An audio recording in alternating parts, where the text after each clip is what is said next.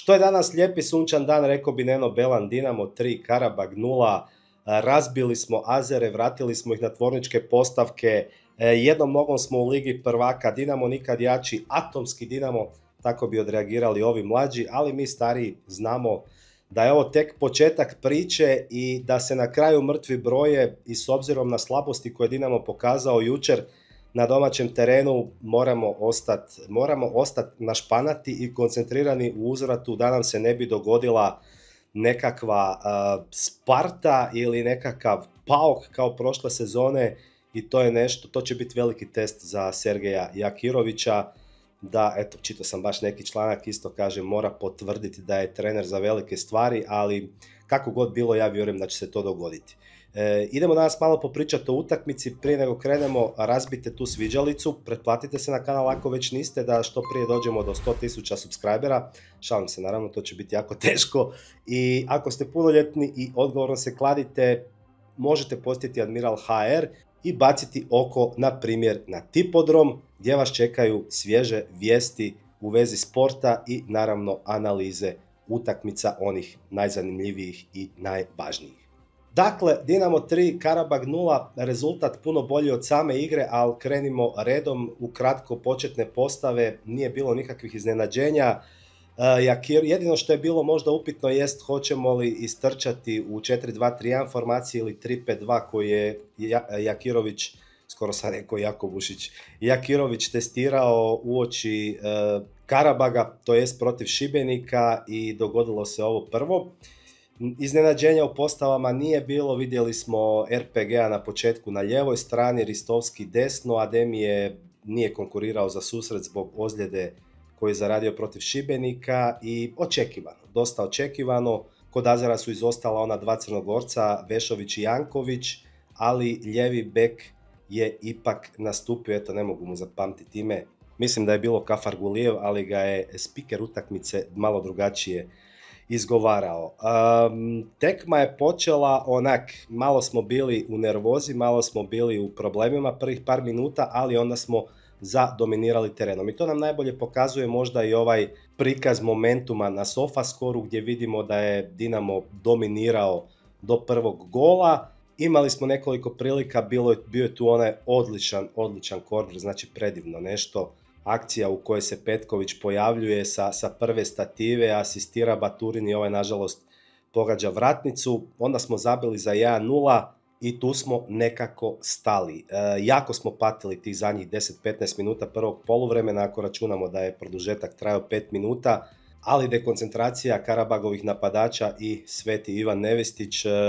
izvukao je tu situaciju. Na poluvremenu smo mogli čuti izjavu pomoćnog trenera Perkovića koji je rekao ono što je meni zapelo za oko i što, što nije bilo nikako dobro, a to je da nam fali energičnije iskakanje u veznom redu. Tu smo jako patili,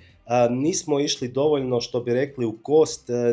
nismo bili pravovremeni u sprečavanju Karabagovih e, kontranapada, ali ne samo to, nego ne znam, baš bi volio čuti vaše mišljenje, ja sam imao osjećaj da su ovi duplo brži od naših igrača. Znači kad, kad mi izgubimo loptu i kad ovi krenu napred i igrač već ide na protivničkog, stari ovaj ga pretrči ko da ga, je, ko da ga otrese ko šmrtlje iz nosa. I to mi nikak nije jasno, jel se tu radilo o nekakvom opuštanju naših igrača ili, ili su ovi stvarno toliko brži, pa vidjeli smo to i u drugom poluvremenu, ali ne toliko izraženo, jer ko što je rekao pomoćni trener eh, Perković, najvjerojatnije su slačionici rekli dečki dajte malo to stisnite i ne smiju nam se takve stvari događati jer prije ili kasnije ćemo primiti gol. I ajde, u drugom poluvremenu je to bilo malo bolje, ali svejedno opasno, opasno smo mi živjeli sve do ulaska Kulenovića, promjene formacije u 3-5-2, onda smo dobili malo, malo u sredini, igrača više, a i u obrani možemo reći igrača više i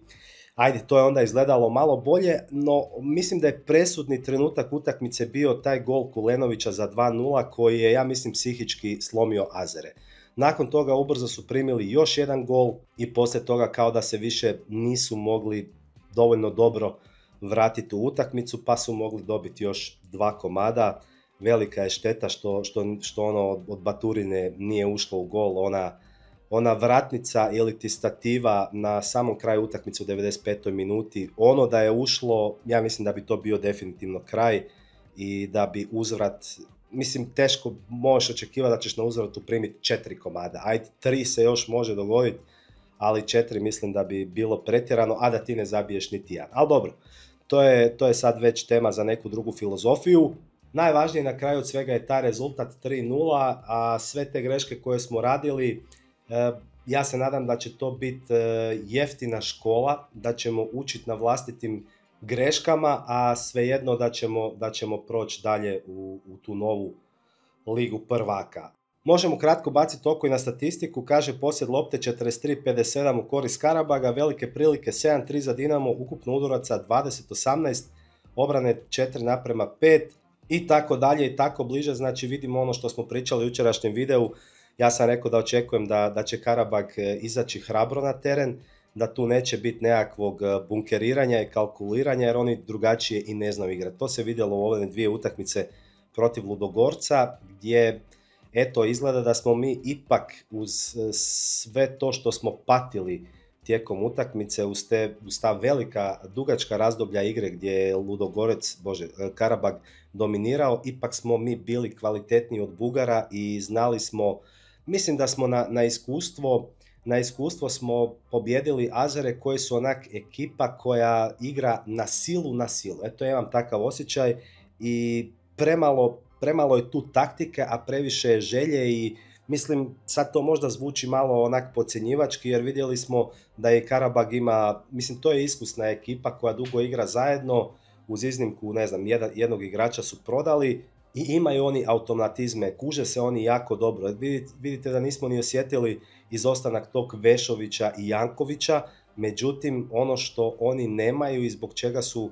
vjerojatno i ispali prošle sezone iz Europa lige protiv Leverkusena gdje su dva puta vodili sa po 2-0, a na kraju su ispali iz osmine finala. Znači, meni je to neki pokazatelj da oni taktički nisu dovoljno zreli za neke velike stvari. A Dinamo, Dinamo tu već ima jako puno iskustva i svake godine igranjem u Europi spremni smo praktički eto, na sve. Jakirović je nakon utakmice izjavio da smo se patili 90 minuta, imali smo periode gdje smo mi dominirali, pa su oni dominirali, na momente nismo se dobro branili, na poluvremenu smo se dogovorili da ne budemo pasivni, nahvalio je Kulenovića, onda je rekao da je fokus isključivo na sljedećoj utakmici protiv Gorice, pohvalio je Baturinu i njegove fantastične poteze, e, dvije vratnice, jedna asistencija, za Ristovskog je rekao da je osjetio bol u zadnjoj loži, sad koliko je ta ozljeda ozbiljna, to ćemo saznati vjerojatno tek danas e, kroz medije. I da, ja bi sad prešao možda malo pojedinačno da kažemo par riječi o,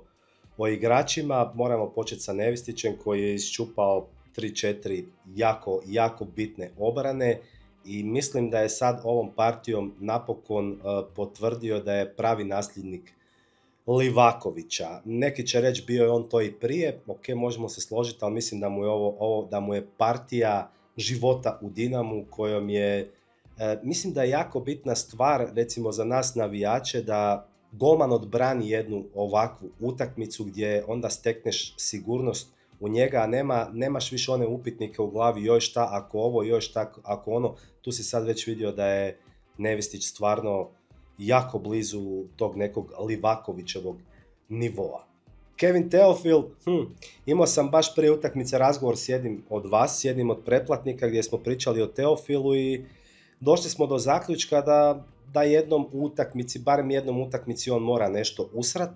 ali kad se sve skupa zbroji, imao je on puno više dobrih nego loših partija za Dinamo i jučer smo isto vidjeli neke, ha, ajmo reći, kikseve u obrani, ono kad je, kad je poslužio loptu za Žuninja, možemo reći, ali e, gle, da on ne radi takve greške, ne bi on igrao u Dinamu, nego bi igrao, ne znam, neću sad reći u Realu iz Madrida, ali sigurno da bi igrao u, u puno jačem klubu nego što je Dinamo. Bio je ovo i prvi veliki test za Samija Maja, koji ga je, ja bih rekao, jako dobro položio. Vidimo da je siguran, da je čvrst u obrani, da tu nema puno kompliciranja. Vidjeli smo ono što se meni jako svidjelo, dva izlaska u kost, što bi rekli, protivničkim napadačima i oduzimanja lopte negdje ispod centra i onda kretnja prema protivničkom golu. U jednoj takvoj akciji e, skoro je i lobao Karabagovog vratara Buntića, nije baš puno falilo i možemo reći da s obzirom da je on tek došao u Dinamo i da nije imao nekog pretjeranog vremena za prilagodbu, da je, da je ovo top pojačanje. Da je ovo pojačanje za 0 eura kakvo si mogao samo sanjati za Dinamo. I tu još jednom skidam kapu uh, Dinamovoj skautskoj službi i sportskom direktoru Mariću. Znači, ne sjećam se kad smo doveli takvog igrača za, za 0 eura. Znači, vidi se da ljudi rade odličan posao. Pierre Gabriel, Dinamov univerzalni vojnik, može lijevo, može desno, kad je Ristovski izašao, vraćen je na, na poziciju desnog beka, Ogivara je ušao na lijevu stranu i dobro, bilo je tu nekih greškica, bilo je tu problema sa Karabagovim krilima, ali vidjeli smo također puno više e, dobrih stvari kod njega, pa čak mislim da je imao jedno spašavanje gola sa, sa same gol linije i, i Pierre Gabriel slično kao i Mae, a to smo vidjeli prošle sezone kad je došao od prve tekme, gledali smo šta je ovo, došao je, ko da je Svemirac došao u Dinamo i to je jedan od igrača koje kad vidiš da je u prvih 11, taman da ga trener stavi i na gol, siguran si da, da će on svoj odraditi i da će dobro odigrati. Josip Mišić, mislim da je imao dosta loš ulazak u utakmicu, dosta mekan ulazak, gdje smo vidjeli par e, greškica, par onako opuštajućih, posebno mi je zapelo onak e, u sjećanju jedna lopta koja ide prema našoj obrani, a Mišić je samo prati pogledom i tu smo, ja mislim, skoro primili gol. Ne znam da li sam zapisao, da li ću uspjeti naći tu situaciju, ali poslije u drugom dijelu e, mislim da se Mišić dosta popravio i vidjeli smo da puno žešće ulazi u, u te duele na, na sredini terena, baš kao što bi trebao zadnji vezni činiti i mislim, mislim da je jako popravio dojam u drugom dijelu, tak da nemam nekih, nekih pretjeranih zamjerki na njegov račun. Slična stvar mi je i sa Petrom Sučićem za kojeg vidimo da još nije u top formi, da se još traži sad da li, da li ono što se pričalo o transferima da odlazi, da li ga je to malo izbacilo iz koncentracije pa mu misli lutaju tko zna kuda, ali ne sumnjam da će se i on poput, ne znam, Ademija ili Petkovića s vremeno dići u formi, naravno ako uopće i ostane u Dinamu. Martin Baturina, odlična utakmica, možda jedan od, nakon Kulenovića, možda i najbolji igrač na terenu. Rekao sam već, pogodio je dvije vratnice i ona lopta za Kulenovića za drugi gol na utakmici stvarno je, stvarno je bila fantastična. Ali ono što je meni još bilo drago da vidim e, i drago da potvrđuje moje riječi od prije nekoliko videa, od prije, ne znam, tjedan, dva, kad sam rekao da mi Baturina izgleda 30% spremniji nego inače, izgleda mi kao da, da nosi te duele. Vidjeli smo jučer u par situacija da mu, da mu Azeri uletavaju rame od rame i normalno ovaj je slabiji od Gurnega, ali mali se ne da, mali ostaje na nogama i na kraju provuče loptu između njih dvojce i prođe i mislim, mislim da, je, da je Baturina stvarno spreman za, za izlazni transfer ako će se on dogoditi i to da bi stvarno mogli zagrist jako veliki klubovi za njega. Hođa,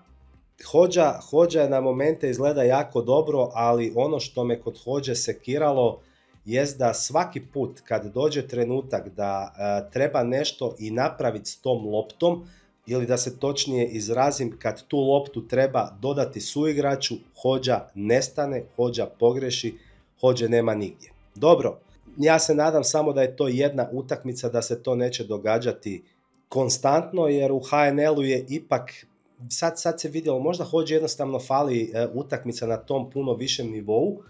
da bi i dobio samopouzdanje, da bi izgledao i opuštenije, jer jučer mi je izgledao jako napeto. Jučer mi je izgledao kao da je vrijeme za, za njegovu reakciju u odnosu na utakmice u HNL-u skraćeno, ako razumijete što želim reći, a to se može događati zato što igra protiv kvalitetnijih protivnika koji nemaju toliko respekta kao, kao ekipe iz HNL-a i kad nisi naviko na to, treba ti možda neko vrijeme za prilagodbu. Ali ono, da se ne lažemo, neće Hođa nikad biti krilo poput, ne znam, Nike Williamsa i ne možeš to očekivati od njega, ali da se može još dići, definitivno da može što se tiče uh, samih utakmica u Europi. Bruno Petković Nismo od njega jučer vidjeli puno, u nekim situacijama mogo je i puno bolje odreagirati, ali dobio je, ja mislim da je dobio 5 od 7 duela na tlu i par njih u zraku, ali ono što je mene jako, što mi jako diglo živce jest e, sam sudac. Mislio sam o njemu na kraju, ali ajde sad kad smo već kod Petkovića, pa ja ne znam koliko je bilo, 4-5 faula na Petkoviću, da, da sudac nije mogao dati žuti karton onom Romau ili Medini, pa ne znam kad je Romao dobio, tek u 62. minuti, ja mislim, žuti karton, stari strašno. Kad smo već kod suca, onaj penal i ne znam šta je radila VAR soba, je li igrala Fortnite ili šta, ali ono je izgledalo, znači frajer namjerno, prvo namjerno igra rukom, a druga stvar, ako je igrao desnom rukom, a desna noga mu je na, na liniji 16 to znači da je čisti penal. Zašto VAR soba to nije provjeravala ili je smatrala da to uopće ne treba provjeravati. Ne znam, mislim da nam je to velika, velika misterija. Što se tiče Petkovića, da završimo, vidi se da nije u top formi, ali nadoći će on, što bi se reklo. Ogivara je ušao u 21. minuti i to me jako veseli, mislim ne veseli me ozljeda Ristovskog, ali me veseli s druge strane Ogivare, ali mislim da je ovom utakmicom pokazao da se na njega stvarno može računati. Ono što ja pričam već duže da nema mi smisla da, da svaki put utopiš Pierre Gabriela na ljevoj strani, a vidjeli smo u onoj utakmici, ja, jel to bilo protiv Osijeka kad je frajer prošao u 16 teraci kad je zabio onaj fantastičan gol. Ne znam, ne znam čemu ga forsirati lijevo, ispada mi samo zato da bi Ristovski mogao igrati desno. Ali dobro, opet kažem, neću, se, neću previše kritizirati jer rezultati su jedino mjerilo i ako Jakirović smatra da je to tako i ako mi uđemo u Ligu prvaka, nek igra i Nevistić E, desnog beka, a Pierre Gabriel lijevo, meni je svejedno, eto, iskreno. Ne znam, ja sam nekog preskočio, preskočio sam, ja mislim, Pijacu, koji je zabio svoj prvi službeni gol po povratku u Dinamo i mislim svaka čast super, ali moram, mislim ne mogu sad uh, preuveličavati nešto i, i, i pričati o tome da je Pjaca odigrao fantastično jer ga praktički nismo ni vidjeli cijelu utakmicu do tog gola i još jednom se pokazalo da slično kao i, i Pierre Gabriel, mislim da nema smisla ga forsirati na desnoj strani ako, ako znamo da mu više paše lijevo. Ali dobro, to je isto sad stvar o kojoj odlučuje trener i koji vjerojatno zna zašto to radi. Sad na desnoj strani možda kad se s vremenom malo ovaj novi Kordoba kad se uigra, možda će se to posložiti pa će Pjaca i Hođa izmjenjivati minutažu na lijevoj strani, a Kordoba i Špikić ili Kačavenda na desno. Eto, to, to su neke stvari za koje treba malo vremena da vidimo kako će se razviti. Sandro Kulenović, da je Dinamo gubio, vjerojatno bi bio game changer i drago mi je, stvarno mi je drago da je napokon proradio jer ono sve što mi je bilo upitno kod njega dugo godina, ta realizacija, sama realizacija kad se on nađe u gol prilikama, sad je napokon došlo do, do izražaja i vidi se da on može biti dobar gol getter. Evo neki sad već pričaju zašto ga Dalić nije zvao u repku. Polako, mislim da, da on treba pokazati jednu konstantu, da treba odigrati jednu sezonu na top nivou ili barem pola sezone, zabiti 15-20 golova kao što je to napravio recimo Igor Matanović u drugoj njemačkoj ligi i onda će ga, onda nema šanse da ga neće zvati. Jer on je tip napadača kakvog kakvog Dalić čeka od, ne znam, od kad se Mandžukić umirovio. I uvijek joj da nam je Manđo, da nam je Manđo. Evo sad recimo imaš u Dinamu novog Manđu, ako će naravno nastaviti sa, sa takvom formom. E, dva gola je zabio, no meni je ostao u sjećanju trenutak kad on ulazi u igru i kad sam vidio njegovu facu, kad sam vidio koliko je odlučan, a istovremeno i smiren, Možda će sad ispast da serem, da sad tu pričam gluposti, ali ja sam bio uvjeren da će Kulenović zabiti gol na ovoj utakmici. I eto, svaka mu čast, čestita mu, nije zabio jedan nego dva i stvarno mi je jako drago. I na kraju Kordoba, kojem je baš Kulenović asistirao, ovaj se nije najbolje snašao, ali dobro, ovo mu je tek druga utakmica, prvi put je u Europi, ne zna jezik, čuli ste da je Jakirović rekao da ovaj ne zna beknut vjerojatno ni engleski. I sad kakva je to komunikacija, vjerojatno im treba prevoditelj e, na španjolski da bi se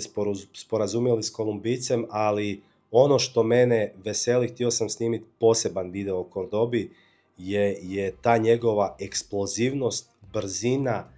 tehnika, dribling, znači dečko ima ogroman potencijal. Ja ne znam, Ja ne znam kad smo imali zadnji put takvog igrača. E sad, hoće li on ostati dobar u glavi ili neće, to je najveće pitanje. Za sve ostalo se ne brinem, brinem se samo da on ostane na zemlji, da nastavi naporno raditi i sve ostalo će doći samo od sebe. Mislim da smo dobili isto jedno krilo za jako malo novaca, a vrhunsko krilo koje bi moglo danas sutra igrati u, u jako velikim klubovima u Europi. Ali dobro, za to ćemo vidjeti jel mi dobra procjena ili nije. I to bi bilo otprilike to da ne dužim previše, iako već jesam produžio.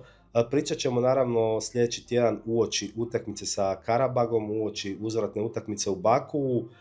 Ja vjerujem da ovo ne možemo prokockat ako ćemo biti i malo ozbiljni, a moramo biti jer primiti tri gola u Baku, a ne zabiti ni jedan, mi se čini kao nemoguća misija. Iako vidjeli smo, kažem, prošle godine protiv Paoka, očekivali smo slično, kao malo valja ćemo im bar jedan, ili ako oni nama daju pet, mi ćemo dva ili tri, ali to se nije dogodilo. Samo tog me strah da se ne opustimo i da shvatimo tekmu ozbiljno i stojim kod onog što sam rekao e, u, jučer uoči utakmice da je Dinamo kvalitetniji i da ta individualna kvaliteta na kraju mora doći do izražaja. To se dogodilo jučer, možda malo pretjerano, ali ipak kad zbrojiš, mislim Karabag je jako u napadu. Mislim da bi onih par igrača mogli komotno igrati bez ikakvih problema u Dinamu u prvih 11 počevši od Žuninja, Zubira i tako dalje, ali e, njihova boljka je ta obrana i vidjeli smo nekoliko puta jučer koliko oni znaju biti konfuzni, o tom sam isto pričao jučer, ali ono što je mene začudilo jest da nismo forsirali centaršuteve u njihov 16 terac, a Ludogorec im je na taj način zabio tri gola od, od četiri koje su zabili, Ludogorec im je zabio tri. Mi smo vidjeli jedan jedini centaršut i to tek negdje, ne znam sad, u 70. minuti. Mislim da sam zapisao Jesam, da, u 68 minuti kad je RPG centrirao, a Kulenović je za malo promašio loptu glavom. Tako da ja bih volio da, da to češće malo pokušavamo da forsiramo, ali dobro, kažem, ne petlja, ne želim uopće ništa previše kritizirati, dok god sve funkcionira, ja sam sretan i zadovoljan. Što vi mislite o svemu, pišite mi naravno u komentarima ispod videa. Uživajte mi u ostatku ovog predivnog dana za Dinamovce i do sljedećeg puta. Ako, dragi Bog da, lijep pozdrav svima.